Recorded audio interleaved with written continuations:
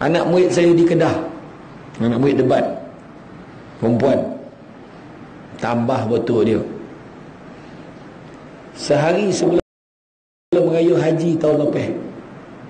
Besok nak raya haji hari ni. Dia naik motor. Suami dia naik motor dengan anak dia.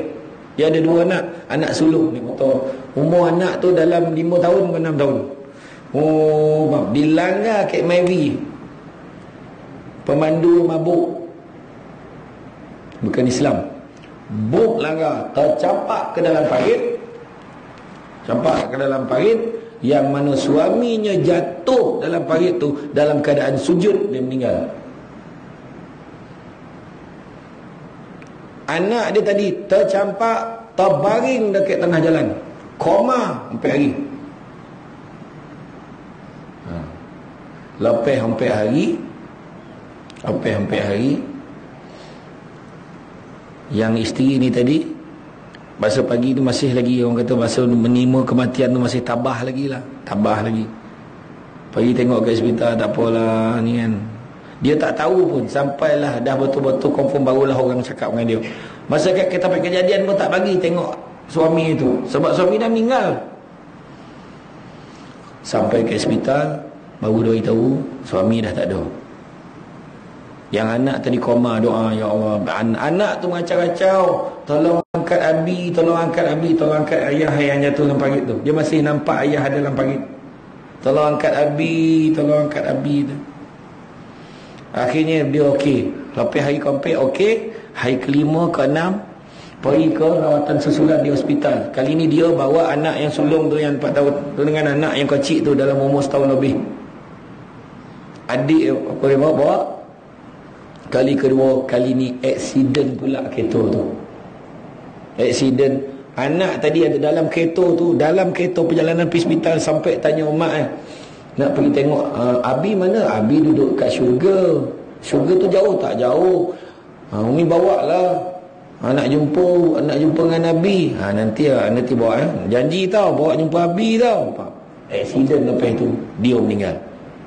Yang tadi koma dari beberapa hari tadi dia meninggal dalam tempoh seminggu bayangan lepeh suami eh anak eh.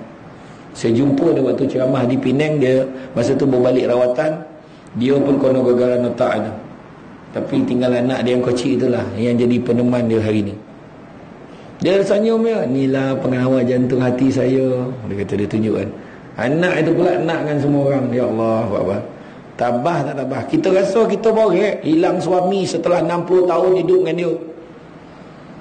Dia dah baru berapa tahun. Dia selama ni, dia pernah mengungut dalam hati dia. Dia cakap. Dia pernah mengungut dalam hati dia. Suami dia kongkong dia. Suami dia baik macam ni. Dia pernah lah. Dia rasa dia pernah lah. Rasa sikit lah. Rasa sikit. Terdetik. Rupa-rupa bila dah meninggal. Boleh teringat kebaikan-kebaikan suami dia. Antaranya suami dia dulu tak pernah ada suruh duit tu hanya duit dalam akaun ini kad bank abang kalau jadi apa-apa ke abang ni kad abang ini nombor pin dah siap duit dalam tu.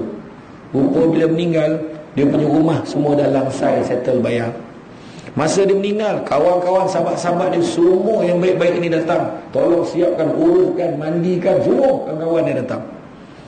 Nak tunjukkan arwah ni baik ni. Tak ada galang ganti je kata tapi ujian. Kalau kita rasa borek, kenapa ujian aku ini seborek ini? Maka kita jangan lupa baca la yukallifullahu nafsan illa usaha. Sesungguhnya Allah tidak membebankan seseorang melainkan sesuai dengan kesanggupan dan kemampuannya. Allah Taala uji itu dah kira dah kita boleh ni.